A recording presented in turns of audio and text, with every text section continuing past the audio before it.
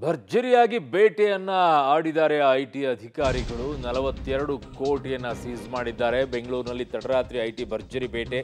So, ಕಾವಲ್ ಭೈರಸಂದ್ರ ಮನೆಯಲ್ಲಿ ಈಗ ಶೋಧ ಕಾರ್ಯ ಮುಂದುವರೆದಿದೆ. ನಿನ್ನೆ ರಾತ್ರಿಯಿಂದಲೂ ಕೂಡ ಶೋಧ ಕಾರ್ಯ ಮುಂದುವರಿತಾ ಇದೆ. ಕಾವಲ್ ಭೈರಸಂದ್ರದ ಮನೆಗೆ ತಿಂಡಿ ತರಿಸಿಕೊಂಡಿದ್ದಾರೆ ಅಧಿಕಾರಿಗಳು. ಅಲ್ಲಿ ಅವು ಅಲ್ಲೇ ಉಳ್ಕೊಂಡಿದ್ದಾರೆ ಅವರು. ಎಲ್ಲವೂ ಕೂಡ ತನಿಖೆ ಆಗುವವರೆಗೂ ಕೂಡ ಪೂರ್ಣ ಪ್ರಮಾಣದಲ್ಲಿ. ಈಗ ಭರ್ಜರಿ ಬೇಟೆಯನ್ನು ಆಡಿದರೆ ಏನು ಸಣ್ಣ ಮುಟ್, ಸಣ್ಣದೇನಲ್ಲ, ಅದು ನಲವತ್ತೆರಡು ಕೋಟಿ ಕ್ಯಾಶ್ ಸಿಗುತ್ತೆ ಅಂತಂದರೆ ಯಾವ ರೀತಿಯಲ್ಲಿ ಅವರಿಗೆ ಇನ್ಫಾರ್ಮೇಷನ್ ಸಿಕ್ಕಿರಬೇಕು, ದಾಳಿಯನ್ನು ಮಾಡಿರಬೇಕು ಅಂತ ಜಸ್ಟ್ ನೀವು ಯಾರೋ ಒಂದು ಮಾಹಿತಿ ಆಧಾರದ ಮೇಲೆ ಅವ್ರಿಗೆ ಬಂದಿರುತ್ತೆ. ಒಂದು ಸುಮಾರು ದಿನಗಳಿಂದ ಅದ್ರ ಬಗ್ಗೆ ಎಲ್ಲ ಲೆಕ್ಕ ಹಾಕ್ಕೊಂಡಿರ್ತಾರೆ ಸರಿಯಾದಂಥ ಸಂದರ್ಭದಲ್ಲಿ ರೇಡ್ ಮಾಡಿದ್ದಾರೆ, ತಗಲಾಕ್ಕೊಂಡಿದ್ದಾರೆ.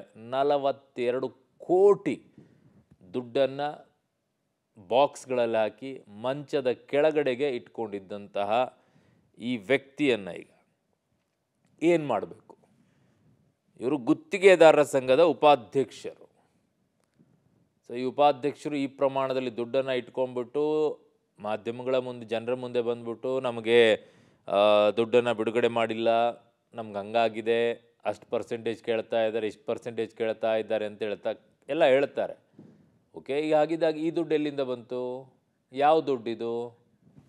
ನನ್ನ ಸಹೋದ್ಯೋಗಿ ನರಸಿಂಹಮೂರ್ತಿ ಇದ್ದಾರೆ. ನರಸಿಂಹಮೂರ್ತಿ, ನಿನ್ನೆ ರಾತ್ರಿಯಿಂದಲೂ ಕೂಡ ಶೋಧ ಕಾರ್ಯ ಇನ್ನೂ ಮುಂದುವರಿತಾ ಇದೆ. ಇನ್ನೂ ಹತ್ತು ಹಲವು ಅನುಮಾನಗಳೇನಾದರೂ ಇದೆಯಾ? ಇನ್ನೂ ಬೇರೆ ಬೇರೆ ಕಡೆಗೆ ಏನಾದರೂ ದುಡ್ಡು ಇಟ್ಟಿದ್ದಾರೆ ಅನ್ನುವಂಥ ಅನುಮಾನಗಳೇನಾದರೂ ಇದ್ದಂಗಿದೆ ಅನಿಸುತ್ತೆ ಐ ಟಿ ಅಧಿಕಾರಿಗಳಿಗೆ? ಅರುಣ್ ನಿನ್ನೆ ಮಧ್ಯರಾತ್ರಿಯಿಂದಲೂ ಕೂಡ ಆ ಒಂದು ಶೋಧ ಕಾರ್ಯ ನಡೀತಿರೋದು. ಮೊದಲಿಗೆ ಕಾವಲ್ಬೈರ್ ಸಂದ್ರದ ಗಣೇಶ ಬಾ, ಬ್ಲಾಕ್ನಲ್ಲಿರೋ ಇವರ ಹಳೆ ಮನೆ. ಇವರ ಹಳೆ ಮನೆಯ ಮೇಲೆ ದಾಳಿಯನ್ನು ನಡೆಸಂತಹ ಸಂದರ್ಭದಲ್ಲಿ ಆ ಒಂದು ಬೆಡ್ರೂಮ್ನಲ್ಲಿ ಸುಮಾರು ನಲವತ್ತ ಎರಡು ಕೋಟಿಗಳಷ್ಟು ಹಣ ಇತ್ತು. ಕೂಡಲೇ ಐ ಟಿ ಅಧಿಕಾರಿಗಳು ಮತ್ತೊಂದು ಮನೆ, ಅಂದರೆ ಇವರಿಗೆ ಇವರಿಗೆ ಸೇರಿದಂತಹ ಈಗಾಗಲೇ ಹೊಸ ಮನೆಗೆ ಇವರಾಗಲೇ ಶಿಫ್ಟ್ ಆಗಿದ್ದಾರೆ.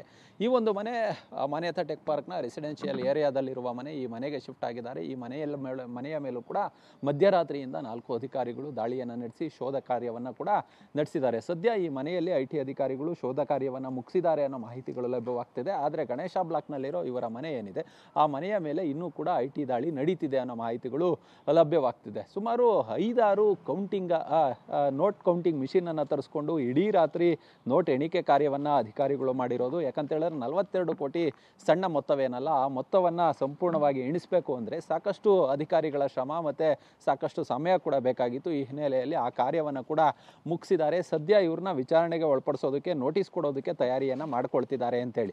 ಒಂದಷ್ಟು ದಾಖಲೆಗಳನ್ನು ಈ ಮನೆ ಮತ್ತು ಗಣೇಶ ಬ್ಲಾಕ್ನ ಮನೆಯಲ್ಲಿ ವಶಪಡಿಸ್ಕೊಂಡಿದ್ದಾರೆ. ಆ ದಾಖಲೆಗಳನ್ನು ಸದ್ಯ ಐ ಟಿ ಕಚೇರಿಗೆ ಕೊಂಡೊಯ್ಯಲಾಗುತ್ತೆ. ಆ ಬಳಿಕ ಇವರಿಗೆ ನೋಟಿಸನ್ನು ಕೊಟ್ಟು ವಿಚಾರಣೆಗೆ ಹಾಜರಾಗಬೇಕು. ನಿಮ್ಮ ಹಣದ ಮೂಲ ಯಾವುದು? ನಲವತ್ತೆರಡು ಕೋಟಿ ಹಣವನ್ನು ಏಕೆ ತಂದಿಟ್ಕೊಂಡಿದ್ರಿ? ಎಲ್ಲಿಂದ ಈ ಹಣ ಬಂತು? ಈ ಹಣಕ್ಕೆ ಟ್ಯಾಕ್ಸ್ ಕಟ್ಟಲಾಗಿದೆಯಾ? ಯಾವ ಮೂಲದಿಂದ ಈ ಹಣವನ್ನು ದುಡಿಯಲಾಯಿತು? ಎಲ್ಲಿಗೆ ಈ ಹಣವನ್ನು ತಲುಪಿಸಬೇಕು ಅಂದ್ಕೊಂಡಿದ್ರು ಹೀಗೆ ನಾನಾ ಆಯಾಮಗಳಲ್ಲಿ ಐ ಟಿ ಅಧಿಕಾರಿಗಳು ಮುಂದೆ ಪ್ರಶ್ನೆಯನ್ನು ಮಾಡಲಿದ್ದಾರೆ. ಆದರೆ ನಲವತ್ತೆರಡು ಕೋಟಿ ಹಣ ಏನಿದೆ? ಕೇವಲ ಎರಡು ಲಕ್ಷ ಹಣವನ್ನು ಹಾರ್ಡ್ ಕ್ಯಾಶ್ನಲ್ಲಿ ಇಟ್ಕೊಳ್ಳುವಂತಿಲ್ಲ. ಹೀಗಿದ್ದು ಕೂಡ ನಲವತ್ತೆರಡು ಕೋಟಿ ಹಣವನ್ನು ಮನೆಯಲ್ಲಿ ಇಟ್ಕೊಂಡಿದ್ರು, ಅದು ಒಂದು ಬೆಡ್ರೂಮ್ನಲ್ಲಿ ಇಟ್ಕೊಂಡಿದ್ರು ಬಾಕ್ಸ್ಗಳಲ್ಲಿ ತುಂಬಿ ಅದನ್ನು ಬೇರೆ ಕಡೆ ಸಾಗಾಟವನ್ನು ಮಾಡೋದಕ್ಕೆ ಪ್ರಯತ್ನವನ್ನು ಪಡ್ತಿದ್ರು ಅನ್ನೋ ಒಂದು ಬಲವಾದ ಶಂಕೆಯನ್ನು ಐ ಟಿ ಅಧಿಕಾರಿಗಳು ವ್ಯಕ್ತಪಡಿಸ್ತಿದ್ದಾರೆ. ಈ ಹಿನ್ನೆಲೆಯಲ್ಲಿ ದಂಪತಿಗಳನ್ನು ವಿಚಾರಣೆಗೆ ಒಳಪಡಿಸ್ ಪಡಿಸುವ ಕೆಲಸವನ್ನು ಅಧಿಕಾರಿಗಳು ಮಾಡ್ತಿದ್ದಾರೆ.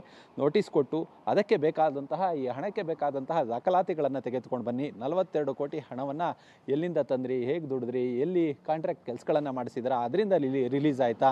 ರಿಲೀಸ್ ಆಗಿದ್ದೇ ಆದಲ್ಲಿ ಅವೆಲ್ಲ ಕೂಡ ಆನ್ಲೈನ್ ಪೇಮೆಂಟ್ ಆಗಿರಬೇಕು. ಏಕೆ ಈ ಹಣ ಬಂತು ನಲವತ್ತೆರಡು ಕೋಟಿ? ಅಥವಾ ಬೇರೆ ಯಾವುದಾದ್ರೂ ಬಿಸ್ನೆಸ್ ನಡೆಸಿದ್ರಾ? ಅಥವಾ ರಿಯಲ್ ಎಸ್ಟೇಟ್ ನಡೆಸಿದ್ರಾ? ಈ ಹಣ ಎಲ್ಲಿಂದ ಬಂತು? ಈ ಹಣದ ಮೂಲ ಯಾವುದು? ಮತ್ತು ಇದಕ್ಕೆ ಟ್ಯಾಕ್ಸ್ ಕಟ್ಟಲಾಗಿದೆಯಾ? ತೆರಿಗೆ ವಂಚನೆಯನ್ನು ಮಾಡಲಾಗಿದೆಯಾ? ಹೀಗೆ ನಾನಾ ಆಯಾಮಗಳಲ್ಲಿ ಅಧಿಕಾರಿಗಳು ಒಂದಷ್ಟು ಕ್ವಶನೇರ್ಗಳನ್ನು ರೆಡಿ ಮಾಡಿಕೊಂಡು ಇವರನ್ನು ಪ್ರಶ್ನೆಯನ್ನು ಕೇಳಲಿದ್ದಾರೆ. ಅದಕ್ಕೆ ಇವರು ಪೂರಕವಾದ ದಾಖಲೆಗಳನ್ನು ಕೊಟ್ಟಂತಹ ಪಕ್ಷದಲ್ಲಿ ಅಥವಾ ಫೈನ್ ಹಾಕಿ ಹಣವನ್ನು ಬಿಡುಗಡೆಯನ್ನು ಮಾಡಬಹುದು. ಅಂದರೆ ಅದು two hundred percent three hundred percent fine ಇರುತ್ತೆ. ಆ ಫೈನನ್ನು ಹಾಕಿ ಬಿಡುಗಡೆಯನ್ನು ಮಾಡಬಹುದು. ಅದನ್ನು ಹೊರತುಪಡಿಸಿದಂತಹ ಸಂದರ್ಭದಲ್ಲಿ ಅಕ್ರಮ ಹಣ ವರ್ಗಾವಣೆ ಏನಾದರೂ ಆಗಿದೆಯಾ ಅಂತೇಳಿ ಕಂಡುಬಂದಂತಹ ಪಕ್ಷದಲ್ಲಿ ಇಡೀ ಅಧಿಕಾರಿಗಳಿಗೂ ಕೂಡ ಈ ಒಂದು ಮಾಹಿತಿಯನ್ನು ಕೊಡ್ತಾರೆ. ಆ ಬಳಿಕ ಇಡಿ ಅಧಿಕಾರಿಗಳು ಪ್ರಕರಣ ಸಂಬಂಧ ಅವರು ಎಫ್ ಐ ಆರನ್ನು ಕೂಡ ಮಾಡ್ಕೊಳ್ಬಹುದು. ಅದಾದಮೇಲೆ ಅವ್ರಿಗೆ ಅನಿಸಿದ್ರೆ ಅವ್ರನ್ನ ಅರೆಸ್ಟ್ ಕೂಡ ಮಾಡಬಹುದು ಈ ದಂಪತಿಗಳನ್ನು. ಹೀಗಾಗಿ ಬಹುಶಃ ಈಗ ಐ ಟಿ ಅಂಗಳದಲ್ಲಿರ್ತಕ್ಕಂತಹ ಪಿಚ್ ಏನಿದೆ, ಅದು ನಾಳೆ ಇಡಿ ಅಧಿಕಾರಿಗಳ ಅಂಗಳಕ್ಕೂ ಕೂಡ ಹೋಗಬಹುದು. ಆದರೆ ಈ ಪ್ರಕರಣದಲ್ಲಿ ಅಷ್ಟು ಸುಲಭವಲ್ಲ. ನಲವತ್ತೆರಡು ಕೋಟಿ ಹಣ ಬೆಂಗಳೂರು ಇತಿಹಾಸದಲ್ಲಿ ಯಾರ ಮನೆಯಲ್ಲೂ ಕೂಡ ಇಷ್ಟು ದೊಡ್ಡ ಮಟ್ಟದ ಹಣವನ್ನು ಐ ಟಿ ಅಧಿಕಾರಿಗಳಾಗಲಿ, ಇಡಿ ಅಧಿಕಾರಿಗಳಾಗಲಿ ಅಥವಾ ಯಾವುದೇ ತನಿಖಾ ಸಂಸ್ಥೆಗಳಾಗಲಿ ವಶಪಡಿಸ್ಕೊಂಡಿರಲಿಲ್ಲ. ಇಷ್ಟರ ಮಟ್ಟಿಗೆ ದೊಡ್ಡ ಹಣವನ್ನು ಐ ಟಿ ಅಧಿಕಾರಿಗಳು ಪತ್ತೆ ಮಾಡಿದ್ದಾರೆ. ಪತ್ತೆ ಮಾಡಿ ಇದೀಗ ಶೋಧ ಕಾರ್ಯವನ್ನು ಕೂಡ ಇನ್ನೂ ಮು, ನಡೆಸ್ತಿದ್ದಾರೆ. ಆದರೆ ಮನೆತ ಟೆಕ್ ಪಾರ್ಕ್ನಲ್ಲಿರೋ ಈ ಒಂದು ಮನೆ ಏನಿದೆ, ಮನೆಯಲ್ಲಿ ಸದ್ಯ ಶೋಧ ಕಾರ್ಯ ಮುಗಿದಿದೆ ಅನ್ನೋ ಮಾಹಿತಿಗಳು ಲಭ್ಯವಾಗ್ತಿದೆ. ಅರುಣ್. ಓಕೆ ನರಸಿಂಹಮೂರ್ತಿ ನಿಮ್ಮೆಲ್ಲ ಮಾಹಿತಿಗೆ ಧನ್ಯವಾದಗಳು.